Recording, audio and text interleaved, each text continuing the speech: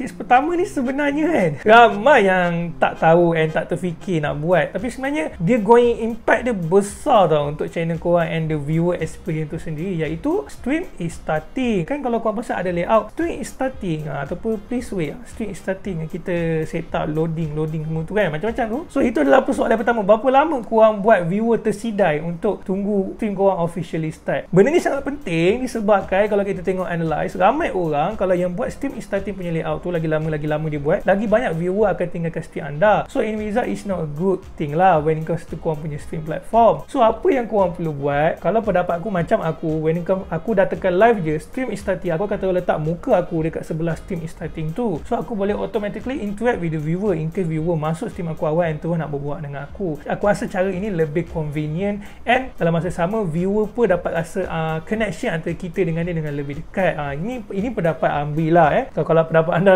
uh, lain is okay it's up to you So inilah tips nombor dua. Ha, Sangatlah penting iaitu sentiasa baca komen Ataupun soalan jika adalah orang keluar komen ataupun soalan kan. Kenapa sangat penting? Sebab viewer ni tengok stream kita Dia orang nak buang kita eh. Ha, Kita kena faham tu. So bila ada viewer tanya soalan eh, ha, Ada nak berbual dengan korang Tapi korang pulau dia, korang sidai dia Viewer ni akan tinggalkan lah platform stream korang eh. Mostly lah, mostly, most of the time dia orang akan tinggal. Sometimes dia orang memang nak layan konten kita And not just untuk interact dengan kita kita but majority I can say and I can believe dia orang nak interact dengan kita ha. so bila kita tak balas komen ataupun persoalan pertanyaan majority viewer ni akan tinggalkan live stream kita which is ya sangat tak cantik lah untuk kita punya uh, going when it comes to streaming channel kita kan so ya yeah, guys tips nombor tiga eh. Uh, tips nombor tiga ni pun sangat penting build your connection you and your viewer kalau anda ada uh, viewer yang selalu datang ke stream anda for example nama dia Adam eh. Adam ni uh, hari pertama pertama dia datang stream anda anda kenal dia. Oh siapa nama awak? Nama awak Adam. Okay, uh, Adam ni uh, background dia siapa? Duduk mana? Mungkin anda ada tanya-tanya dia. And then hari kedua hari ketiga uh, anda anda nampak Adam lagi dan anda kenal eh Adam apa khabar? Sihat Adam? So that's how you build your connection. So build connection ni penting sebenarnya when it comes to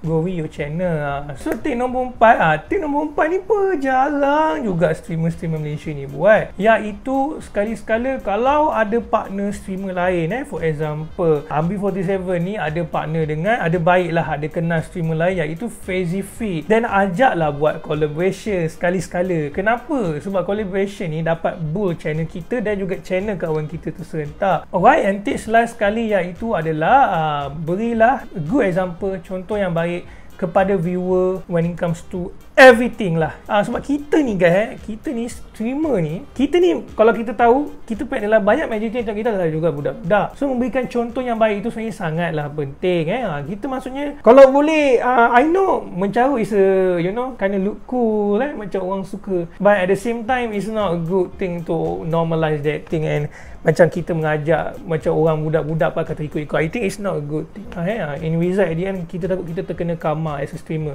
Sebab kita pula yang aja.